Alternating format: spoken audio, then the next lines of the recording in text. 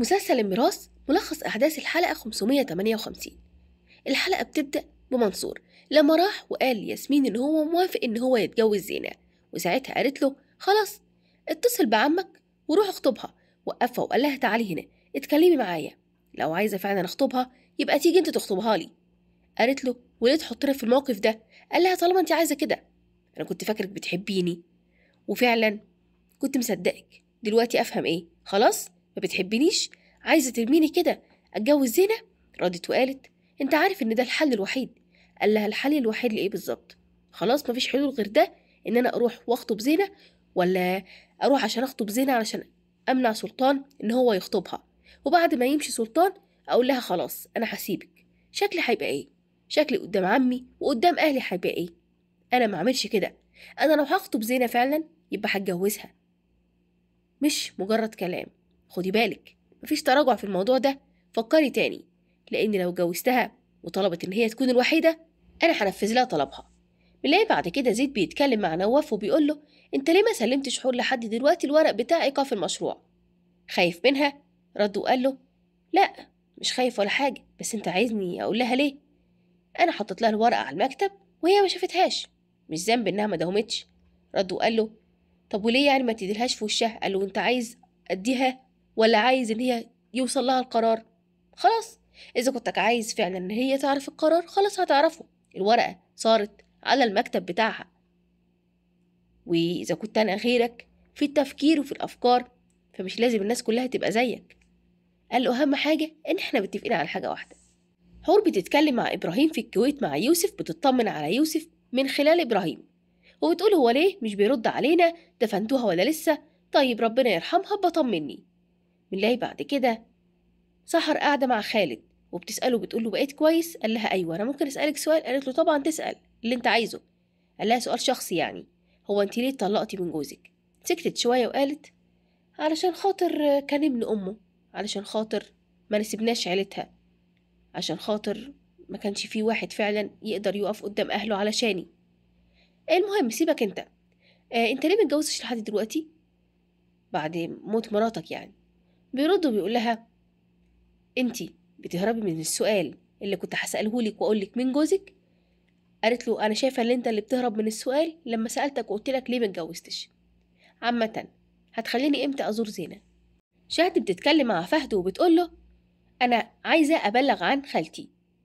قال لها إيه اللي انت بتقوليه ده؟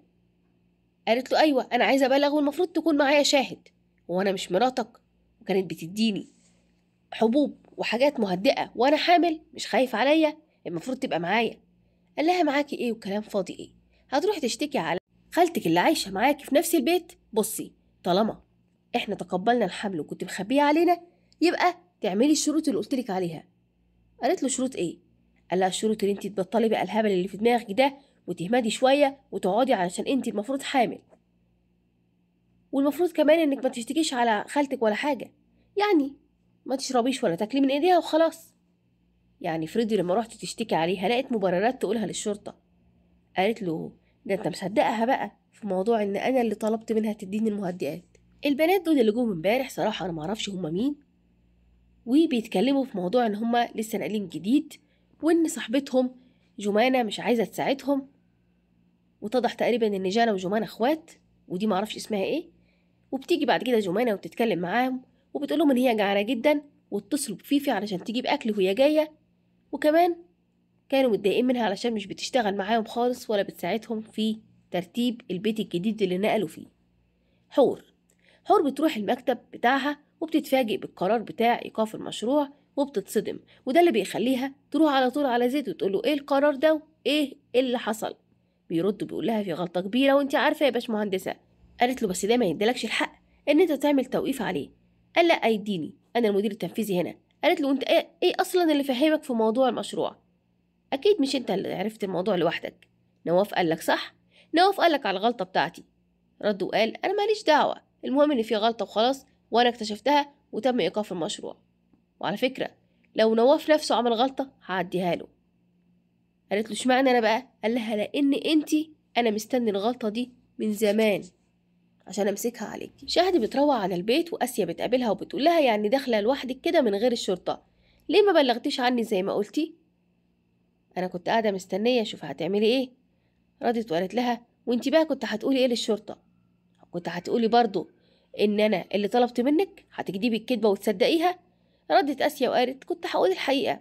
كنت هقول إن شهد دي بنت كل ممنوع عندها مسموح. يعني عندها القلب وتعبانة ومريضة وبتدور على أي حاجة ممنوعة وتعملها. يعني تروح مثلا تلعب رياضة وترقص تروح مثلا تحمل وعايزة تكون أم رغم إن ده ممنوع عنها. وكمان تروح تتجوز من عيلة الخطوان اللي هم ألد أعدائنا. الحاجات دي كلها طبعا اللي تخليني أحط لها المهدئات علشان خاطر أحكمها شوية وألجمها من تصرفاتها الغريبة دي. لأن دي مش تصرفات بني آدمة طبيعية ولا واحدة مريضة. المفروض إن هي تعملها. قالت لها ده أنت بقى بتكدبي الكدبة وبتصدقيها. وهم كانوا هيصدقوكي؟ قالت أيوة. وعلى فكرة أنت عنيدة جدا طالعة لمامتك بالظبط. نسخة منها. حور بتروح لنواف بتتكلم معاه وبتقول له إيه اللي أنت عملته ده؟ إزاي تبلغ زيد بحاجة زي كده؟ كان المفروض تيجي وتتكلم معايا بالراحة ونتفاهم ونتناقش في القرار. لكن ليه؟ تروح وتقول لزيد. قال لها أنا ما عملتش حاجة. أنت اللي غلطتي. قالت له بس برضه كان يمديك إن أنت تتكلم معايا. قال لها والله بقى أنت تصرفت معايا تصرفات كتير وحشة. قالت له وكل ده عشان رفضتك يعني؟ تعمل كده؟ قال لها أنا عملت واجبي وخدي بالك لو دورتي على أي غلطة علشان تمشيني من هنا مش هتقدري ومش همشي. البنات قاعدين مستنيين فيفي اللي اتأخرت عليهم جدا وبيتصلوا بيها مش بترد وبتيجي فيفي وبتقول إن هي كانت بتلف طول النهار وإنها جاية لهم بخبر إن هما هيسيبوا البيت لأن في طاقة سلبية لأن الاتنين اللي كانوا موجودين هنا كانوا متجوزين واتطلقوا. وطبعا البنات بيتضايقوا جدا. أما بالنسبة لمنصور وبدر بيروحوا لفهد وعايزين يتعشوا عنده في الكافيه على حسابه وكمان يحلوا.